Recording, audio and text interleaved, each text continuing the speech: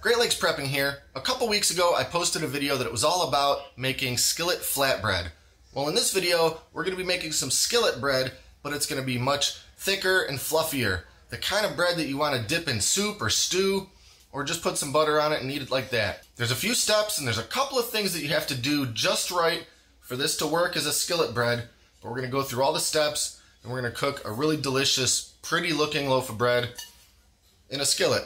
Let's get started by taking a quick look at our ingredients. First, we've got flour, of course, water, olive oil, yeast, salt, sugar, and powdered milk.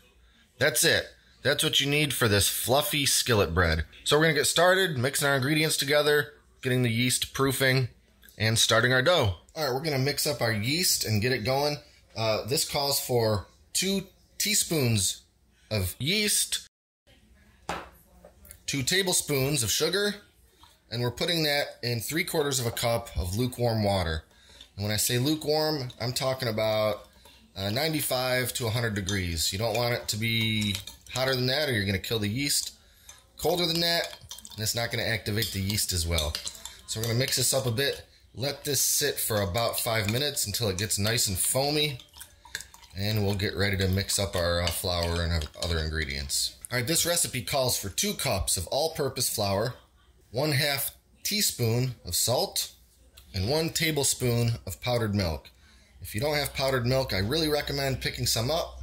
Sometimes you can't find it at the stores these days. I buy it online in a big uh, container, but it's really one of the key ingredients to this recipe. It makes the bread uh, help get fluffy in the frying pan. So we're gonna give our dry ingredients a little mix.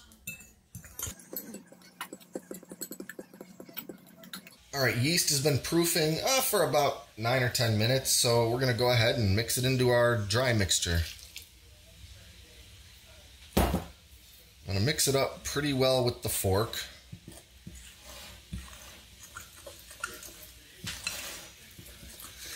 And the thing about this particular recipe is that the dough is to seem a little on the wet side. And the first few times that I made this, I really wanted to mix more flour into it to make it uh, a, a little more dry like a conventional bread dough. But I learned that you have to keep it a little bit wet for it to work because we're not baking this, we're cooking it in a skillet. So it's going to seem a little sticky, a little bit uh, gummy maybe, but that's okay, just, just work with it. Now I will add a little flour to the countertop just so it won't stick to it, so I'll get a little more flour in there just by doing that, but I'm really trying not to add any significant amount of flour to what the recipe calls for. And the last ingredient I'm going to add is one tablespoon of olive oil. And I'm going to knead that right in. This is to help it not be so sticky, but it's sure to make it feel wetter.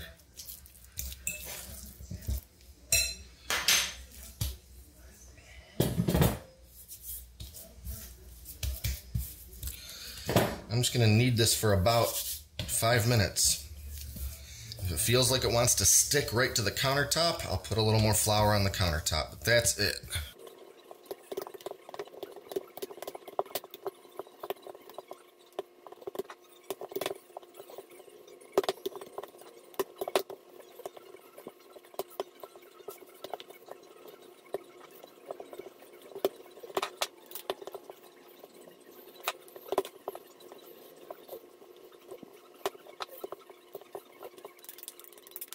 Okay, I've got it formed into a ball and I'm going to put it back in the same bowl that I used to mix it initially. I'll drizzle it just a little bit more olive oil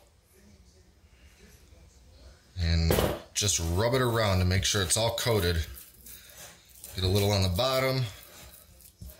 Just make sure it's coated all over, just a little bit. Now it's time to let the dough proof.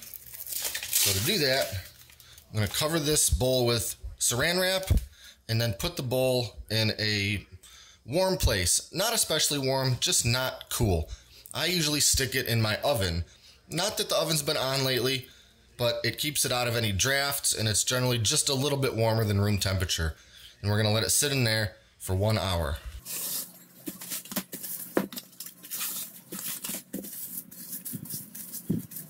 A quick note about the kind of skillet that you're gonna wanna use. I'm using an 8 inch skillet with a very smooth bottom. It doesn't have any ridges or textures or, or anything like that. It's very smooth and it has a lid.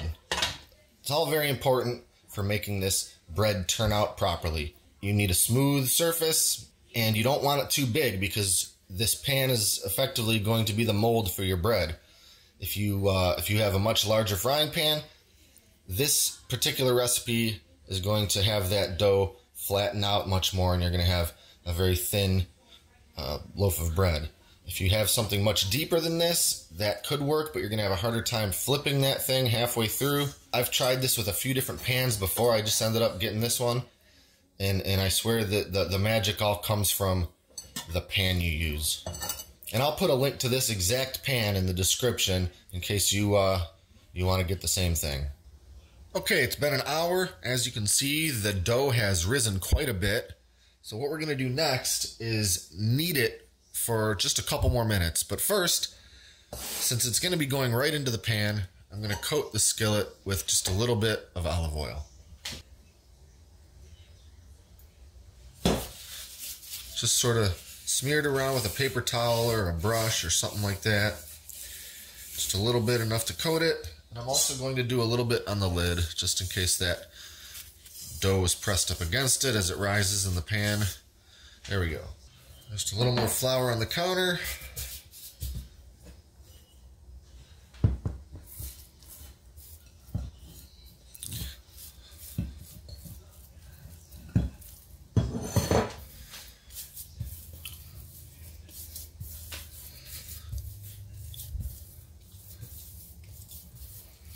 Just going to knead this for, say, two minutes.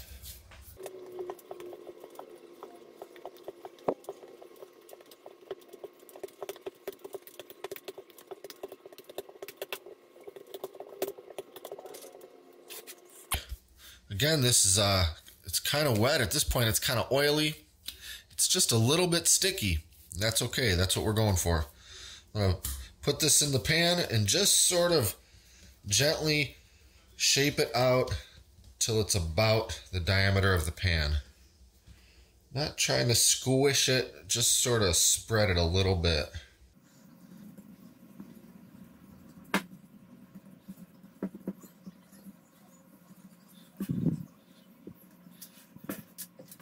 Okay, now we're putting the lid on and we're gonna stick this back in the turned off oven for 15 more minutes.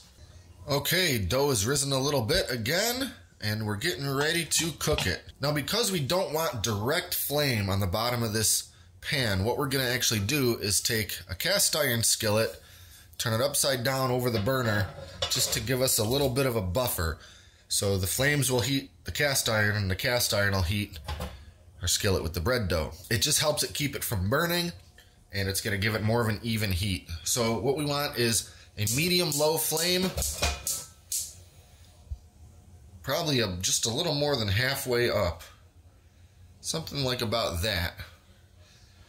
So I'll leave this skillet in place here and just let it heat up for just a few minutes, maybe three or four minutes, and then we're cooking bread. Okay, our cast iron is pretty well heated up. I'm to go ahead and just set the skillet with the bread right on top. We're to let this cook for 10 minutes on this side, flip it, and then do 5 minutes on that side. All right, now it's been cooking on that first side for just about 5 minutes, and I wanted to give you a quick look at how it how it's looking so far. You can see that the bread is starting to expand a bit, and it's actually pressing into the glass lid. That's why it's important to put a little bit of oil on the on that lid so when we pull it off, it's not going to all stick to it. Five more minutes and then we'll flip it. All right, it's been 10 minutes. We're going to carefully take this lid off.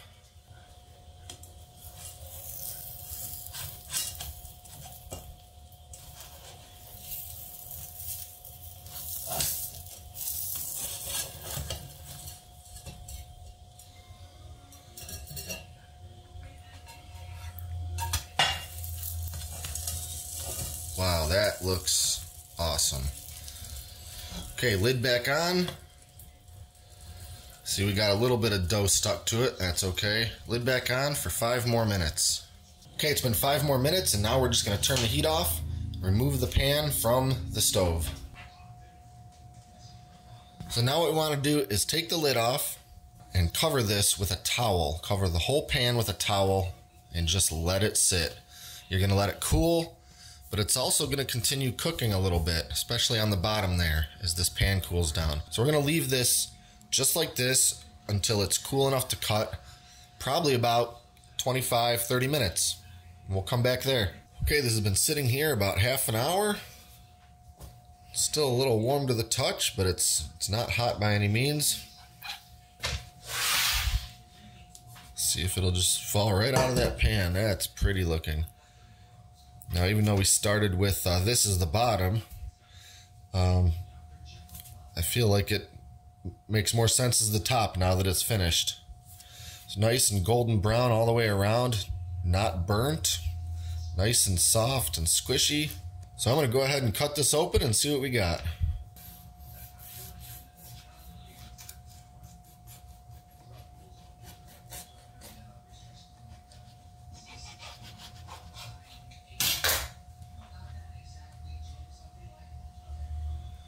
Look at that. That looks that looks good. The thing about this this kind of bread, it's it's it's a bit more spongy than bread that you bake in the oven, and uh, and it's a little bit a little bit oily to the touch because of that olive oil that we had to add. But it's just good soft bread. It's great, like I said, for dipping in soup. That's my favorite thing to eat it with.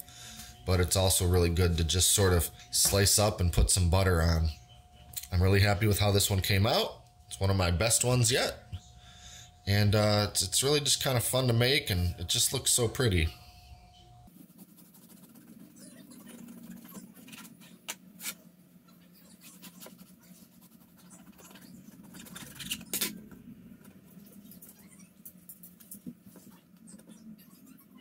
So that's it. That's my fluffy skillet bread. Delicious, soft, spongy,